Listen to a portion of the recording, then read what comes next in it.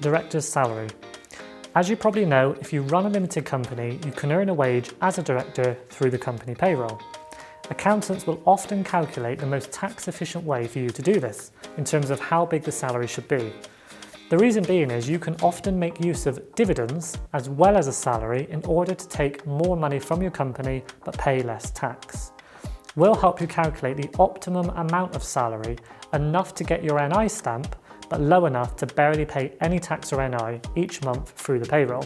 It's usually around the £800 mark. If you then need earnings above that amount each month, the idea is you then take that as a dividend. So for example, if you need £2,000 a month to live on, 800 would be the salary and the other 1200 you take as a dividend. This is purely for tax and NI savings and it does depend on other factors, so always check with your accountant as to whether this works for you.